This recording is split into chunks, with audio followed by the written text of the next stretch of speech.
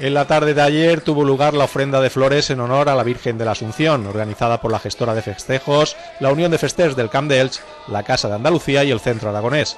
Estos últimos fueron los encargados de abrir el desfile al ritmo de las jotas. Tras ellos fueron pasando el resto de asociaciones, grupos culturales y comisiones festeras de los diferentes barrios y pedanías, encabezadas por sus correspondientes reinas y damas.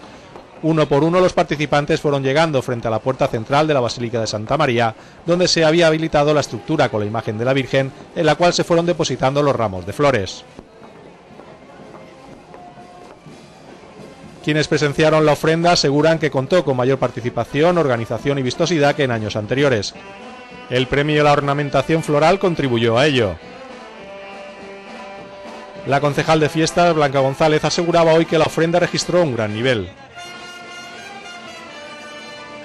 Sí, yo creo que muchísimo. Cualquier persona que la vio ayer, una coordinación de todas las entidades festeras, tanto de la Unión de Festers, la Casa Andalucía, el Centro de Aragonés y sobre todo la gestora, que es la que organiza gran parte de la ofrenda, creo que hicieron una labor muy buena ayer eh, y salió una gran ofrenda, una ofrenda muy vistosa.